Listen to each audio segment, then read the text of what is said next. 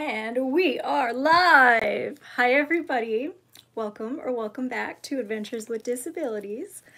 I'm going to be pivoting today. We're not going to be talking about sewing. Instead, we're going to be talking about therapeutic horseback riding. And my very first baby steps towards hopefully qualifying as and competing as a paradressage rider. Let's dive in, guys. So, if you don't know me, I started riding when I was eight years old and tried to do it through most of my adult life. I competed in college and after college, and this was the furthest I ever made it. This was a intercollegiate national show down in Murfreesboro, Tennessee. I'm going to tell you a little more about that ride later on. But where I've been more recently with my riding, as my health has declined, is I have started um, therapeutic horseback riding.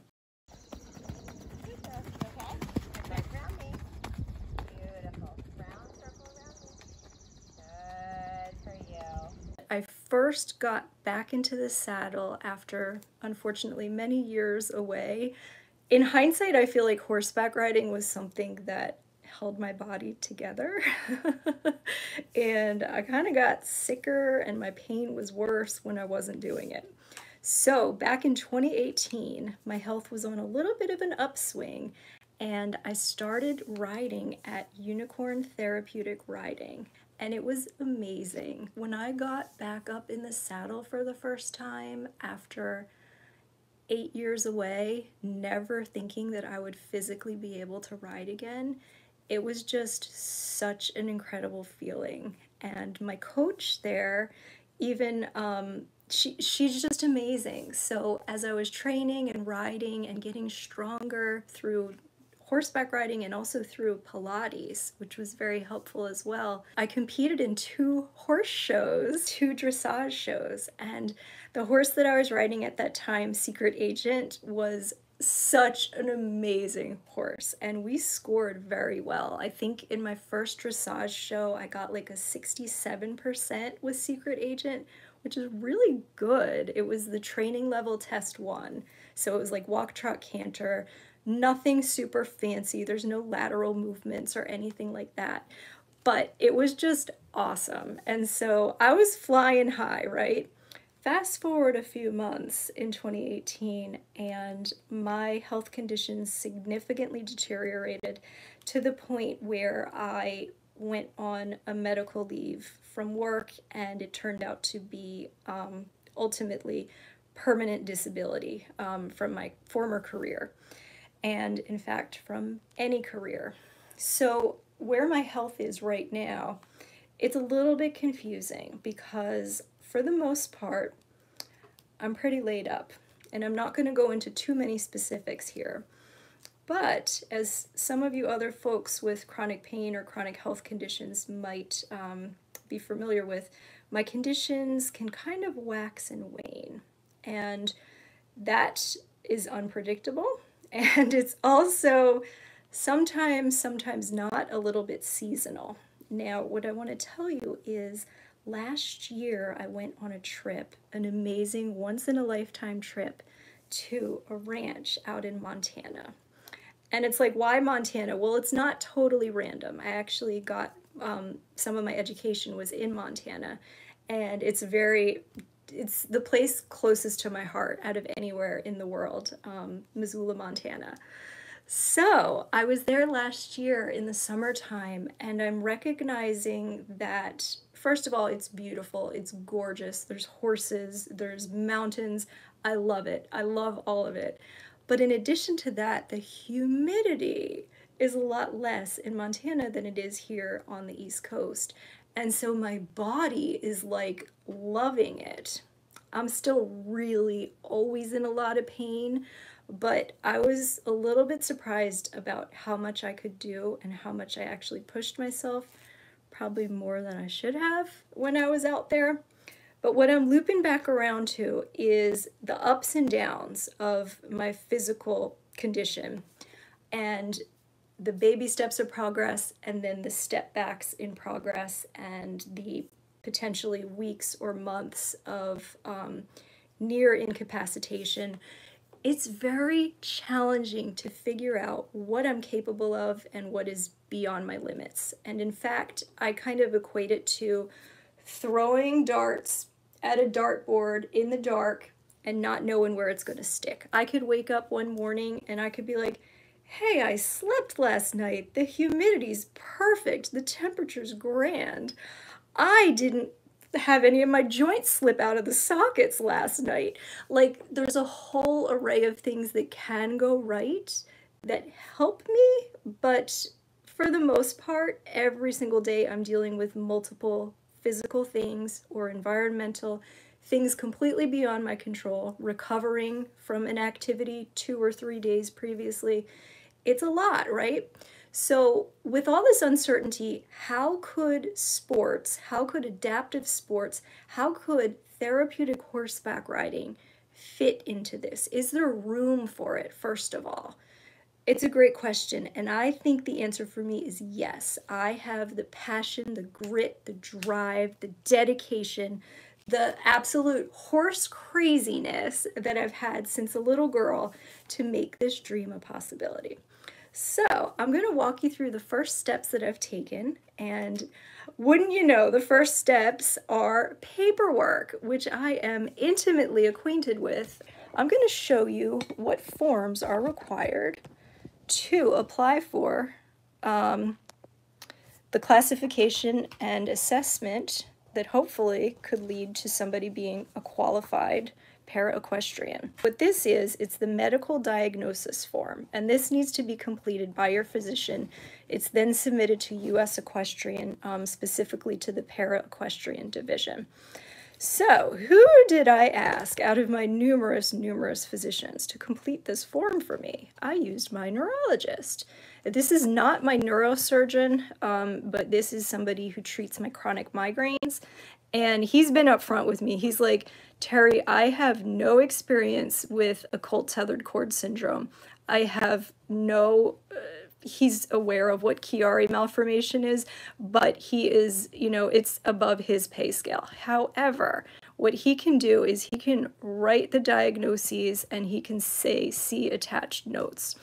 So I, um, I got his sign off on here.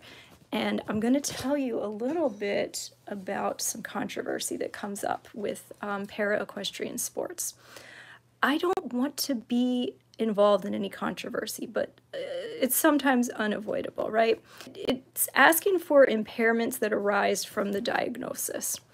So he checked off some for me, and there's actually someone here I feel he could have checked off that he missed. But when we look at additional health conditions, look what's on here. Hypermobility, joint instability, and pain. So one of my primary diagnoses is hypermobile Ehlers-Danlos syndrome. Um, for me, that was diagnosed in 2014. And these other neurological um, cardiac conditions that I live with may or may not be because of that particular diagnosis. I also have more diagnoses. If, if you're looking for a diagnosis, come to me, I can hook you up. So the point is, the controversy with para-equestrian is joint hypermobility, joint instability, and chronic pain are not qualifying medical conditions, period. And um, a friend of mine from the UK sent me this really, you know, eye-opening article. I'm too disabled to compete, and I'm also not disabled enough to compete, right? So we're kind of falling in the cracks here. The woman's name is Vicki Hoban, and she seems like an amazing person. Um, we recently connected, and I'm hoping to get to know her better. But yeah, exactly. I can't compete in able-bodied or para classes. Disabled rider calls for change. There's the possibility. There's a good possibility. Um, and I don't know how many riders this happens to, but what if I go through all this, you know, the medical forms, the fees, the travel, the transport, all to get to this uh, event where a classifier can classify me? What if I'm not disabled enough? if you're not familiar with paradressage, I'm going to tell you a little bit of the basics, and there's also a link in the description to a video that explains it. Um, but basically, riders are classified based on their level of impairment. So class one is riders who are the most significantly impaired, um, often quadriplegics. And then there's classes, um, classifications that go down to group five. And you know, there there's basically um, people who are trained in classifying. I don't know exactly like what their qualifications are. What I do know is with a lot of horse showing, um, and often with a lot of medical as well, the assessments, the the grading, these things are somewhat subjective. And so I don't know what I'm going to get. And honestly, maybe I could be classified as one thing on one day and the next day I could classify as something completely different. And that's another thing that has come up as far as controversy. Like there are some para-dressage and other para-equestrian riders who were qualified or classified 20 years ago. And it's my understanding that there's no process for them to be reconsidered. You know, maybe their condition has worsened over the years. Maybe they've regained some function. But it seems like once you're classified, you might kind of end up stuck in that spot. So there's, I think, room for improvements with the classification, but knowing what I know about EDS, and um, I feel that I have a little bit of a leg up there just knowing that, um, you know, we're going to have to provide medical documentation that supports these other conditions of mine. So I'm going to tell you about a horseback riding experience of mine. it's like, who does this girl think she is? 43 years old. This is the last time I was on a horse. This was summer um, 2023.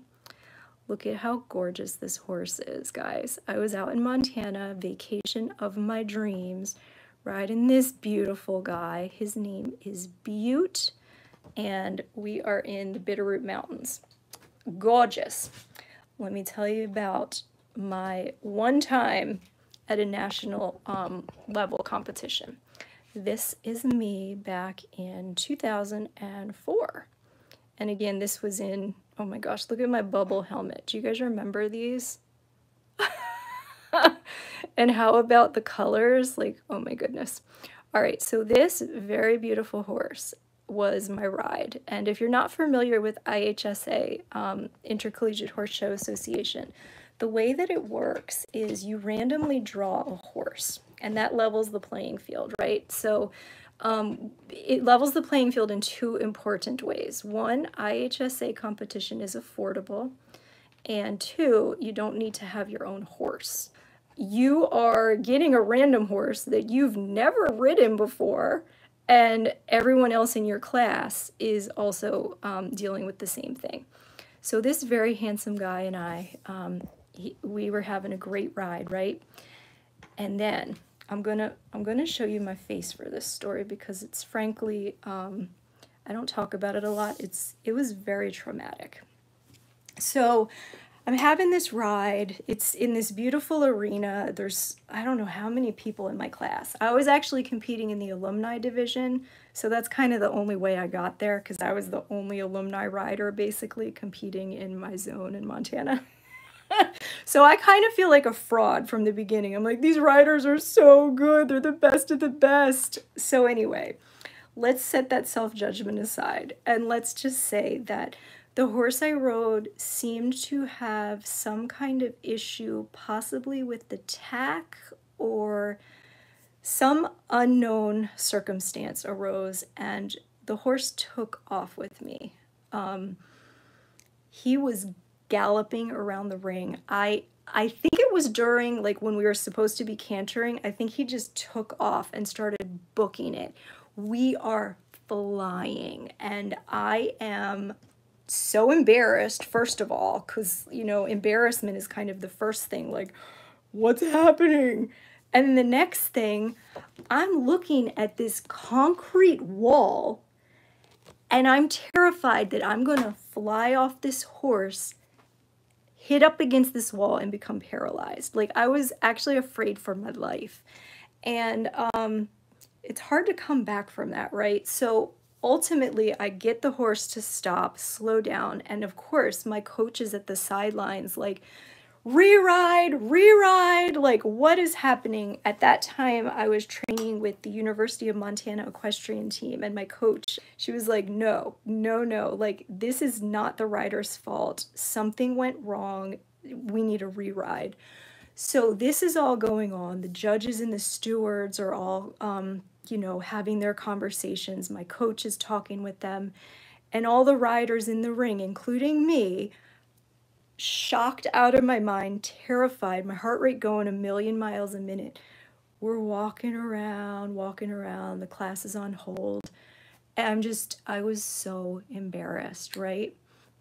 It was nuts. It was nuts. And then I did end up, I got the re-ride. I don't remember anything about my second ride beyond the fact that I was like really mortified and I didn't end up placing in the class, which was so unfortunate because, you know, everybody got a new horse. The first ride was not to be considered at all. But like I said, it's hard to come back from that, right? so here's hoping because the horses that I'm going to be riding, I don't know all of them yet. One of them I know, her name is Daisy, and she is at Unicorn Therapeutic Riding. They're trained therapy horses, and it's amazing what a person can do on a horse.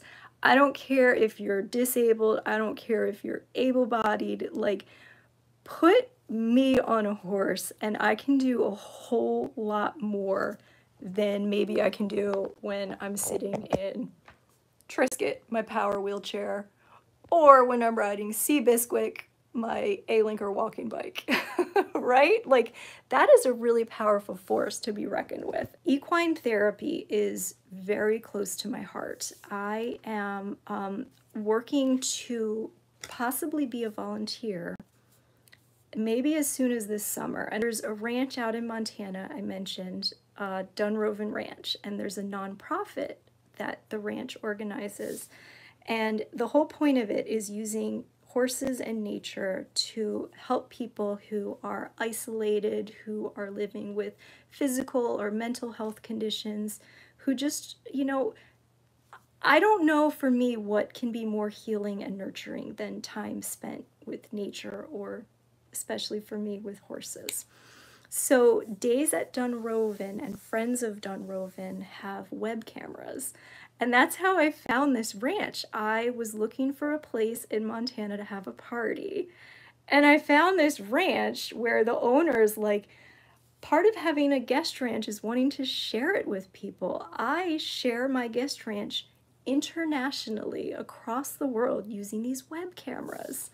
So it's really cool. I've got about this much experience with YouTube now, and I'm hopeful that I'll be able to bring some more programming or other skills um, to the cause. When I'm up on a horse, I'm not thinking about my pain, but it ain't cheap. Funding. How do I fund this adventure to try to become a para equestrian? Well, I'll tell you about one organization I stumbled across, Team Catapult. Never heard of them before. Check the description for more information. But what they do is they provide grants and funding for athletes with disabilities. They have grants open right now. It can be used towards competition fees, transportation and lodging, equipment purchases, coaching and training fees, and more. And here's where we apply. Applications close on May 30th. All right, so that's not too far away. It's a Google form. There's 14 pages, but I emailed Team Catapult and they got back to me right away. Asked them a few questions because it seems like Team Catapult is based in Houston. This was the most important question. Is your funding and are your grants, are they open to para equestrians? they said yes. And I'm like, woohoo! So Team Catapult, watch out. I am going to be applying for this grant and I'm crossing my fingers that y'all will come through with some funding because I need to get back on a horse. That's the easy part. It's all the before and after that is really hard because here is how close I got to the barn last Sunday. I had a ride. I just physically could not do it last Sunday. So here's hoping that this Sunday I might be back up in the saddle. Wish me luck. Put me on a horse and I can rule the world. And thank you so much for watching. Happy creating, happy riding, and take good care. Bye-bye.